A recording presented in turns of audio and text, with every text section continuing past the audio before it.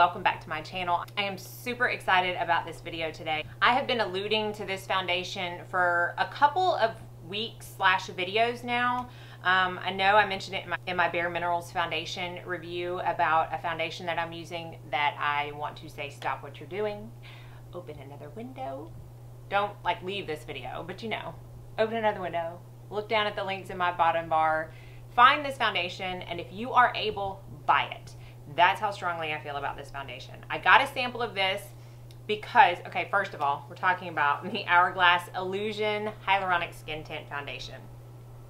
I got a sample of this because Faces by Rob on Instagram, who I really adore his work, he uses it. I don't know if he works for Hourglass or not, but he uses a lot of Hourglass products and he uses this a lot on his clients and models.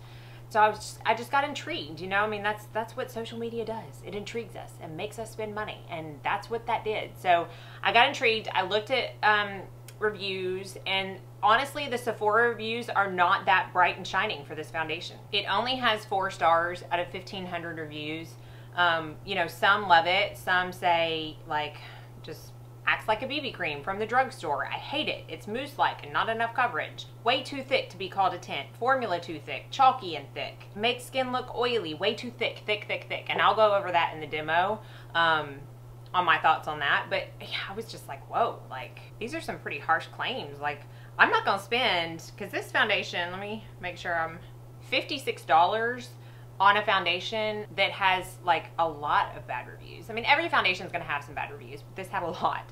So I went to my Sephora and my um, lovely helper at Sephora really hooked me up on the sample of this and gave me a very nice ice pot that I, actually it's almost gone. I used it up today in the demo, but um, I mean, I wanted to say it lasted me probably seven different applications, which is really nice for a sample. It is a very thick foundation, and I was kind of skeptical when I got the sample. Again, I'll go over that in the demo. I'm just, I'm all over the place. So it is $56. It is the standard one ounce. It does come in a squeeze tube with just a little basic spout like that.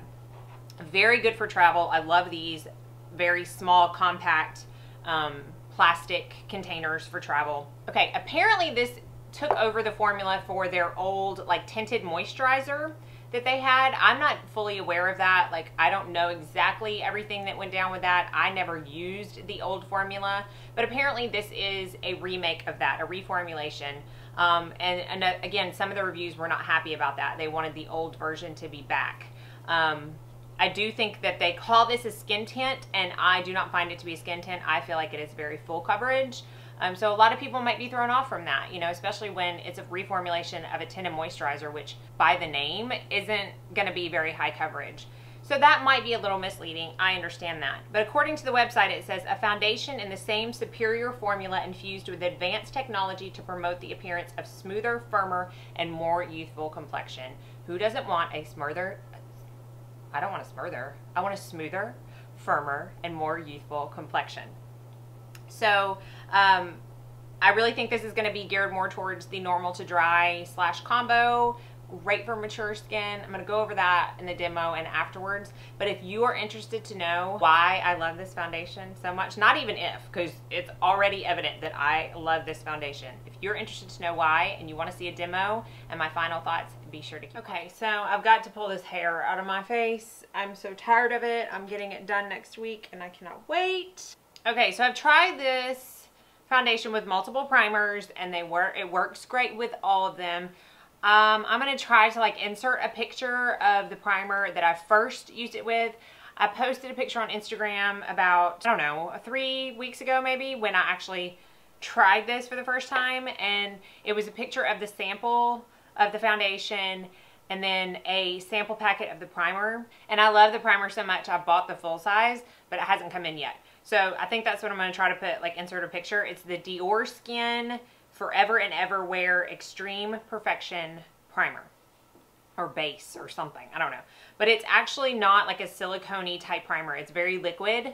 Um, it's like a liquidy lotion. But that's what I first used with this and loved it.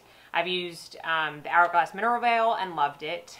And today I'm just going to use my old go-to standby, the Cover FX Anti-Aging Primer which I don't know if you can see that. It's a very silicone, it's yellow, which is so odd, but it's a very silicone based.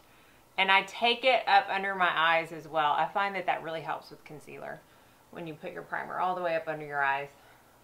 And then I'm going to take, just because I feel like being extra today, this is a sample of the Estee Lauder Pore Vanishing Stick that I got with one of my Sephora orders. So I'm just going to kind of press those into where my pores are the worst. Okay, so the color that I bought in the full size is Warm Ivory. And the sample that I got was Golden. Now Golden is going to be 100% spot on for my summer color but I'm quickly losing any sun that I got at the pool this summer. So I'm gonna mix the two because I think this might be a little too light. I don't know how it's gonna come across on camera, but I assure you, this mixture matches me as of today. So I'm just gonna take a little bit of the warm ivory, which if I'll show you, that's what that color looks like.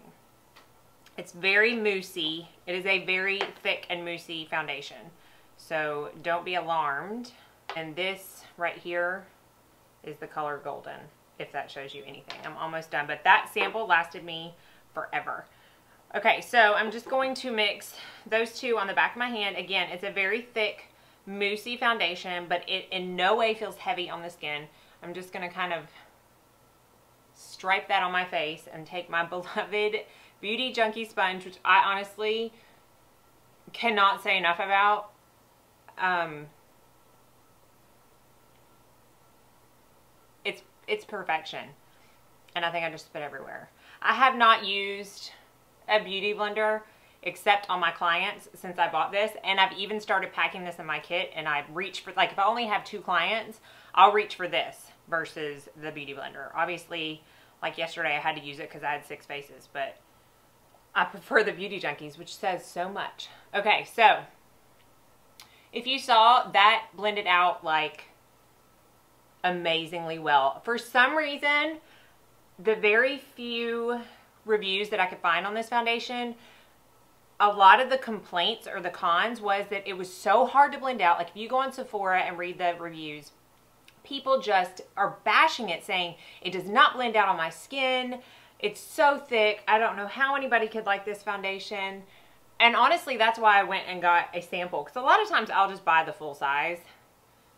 Um, because not too often am I like so disappointed with the foundation that I'll send it back. But that's why I just went and got a sample instead of buying the full size because of all the awful reviews about it being so thick and but because I had seen Faces by Rob use it so much, I'm like, it can't be that bad because his models or his clients are gorgeous. All right, do you see how that, I, I can't, I just can't even. I don't, I, I don't, I can't explain. So anyways, I still have a little bit left on my um, back of my hand and I don't really see that much redness. I'm just gonna touch up a little bit right here. So to me, it starts out as a strong medium coverage. Um, very, very, very easily built up to full. I don't honestly know where people are getting that this is hard to blend out. I don't know if they were trying to blend it out with their hands, like their fingers. I mean, I can see where that might be hard to do. Or if they were trying to use a brush, it might get streaky because it is a moussey foundation. I feel that moussey foundations don't blend out as well with a brush. You saw with that sponge how easy that was to blend out. I mean, it's just, it's, I cannot get over how easy it is. Now I'm going to do a close-up. You can see it does have a dewy finish. It is not a matte finish. It does not claim to be a matte finish, but I cannot tell that there is makeup on my skin. I just feel like it looks like skin evened out skin. My pores, even without that pore vanishing stick, look smaller with the foundation than they do without. It does not patch when you put it on. You can see my forehead. It's just, it's so evenly applied. It's one of the easiest foundations that I have as far as application con is concerned.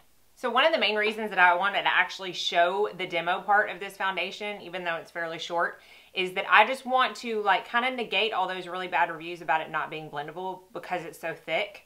Um, it is definitely blendable and I wanted to show you that firsthand. So I'm to go finish my makeup and I'll be right back to tell you my final and comprehensive thoughts about this foundation. There is something so refreshing about having all your makeup on. All right, so I will of course list and link all the products that I used on my face But let's talk about this foundation. There is very little I can personally say that I don't like about this foundation. Now, do I think that it caters or it's going to cater to everyone? No.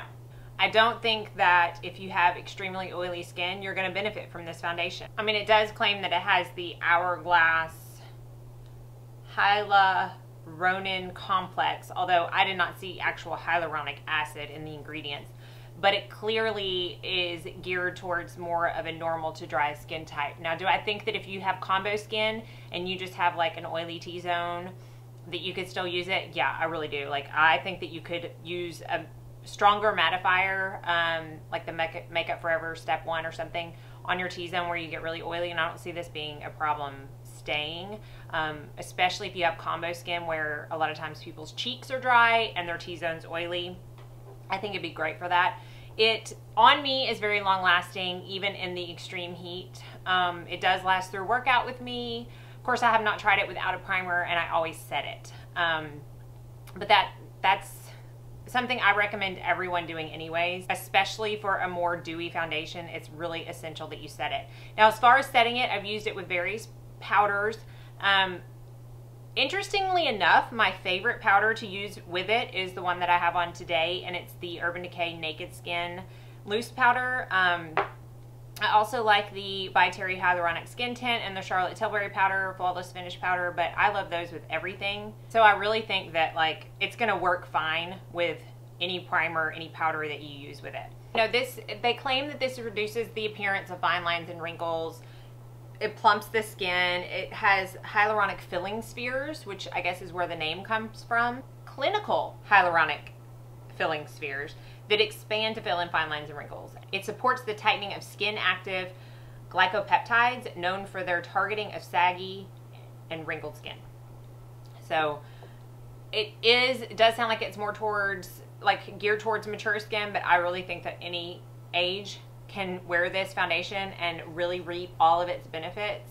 Um, just because anybody, no matter how old you are, looks better with plumper looking moisturized skin. It does have some SPF 15 in it. I do not find that it affects flash photography in my opinion, um, but do be aware that it does contain SPF 15. The finish is like, it just gives a dewy finish. It's not really even a natural. I mean, it is a little bit dewy. It still looks like skin to me, um, and the thing I love the most about it is that a lot of times dewy finish foundations just look dewier throughout the day. I know I've mentioned that before.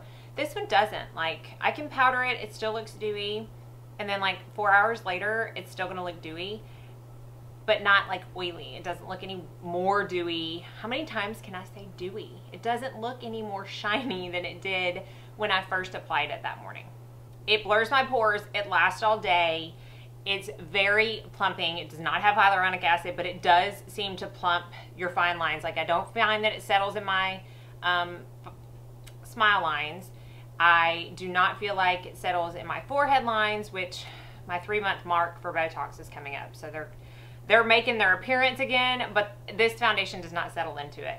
Um, it does not move around. It is not patchy. I don't know. I feel like it's the foundation that like I get like my husband says, "Oh, you're well, you're looking good today." Like he, you know, he I pay attention to when he says that as to what kind of makeup I'm wearing. And this one and the Giorgio Armani Luminous Silk are hands down the two that I can wear, and he pretty much is going to say that every single time. Um, I get compliments a lot when I wear this foundation, like, oh, your skin looks so good. And that's the thing, it's like they're not saying your makeup looks great, they're saying your skin looks great.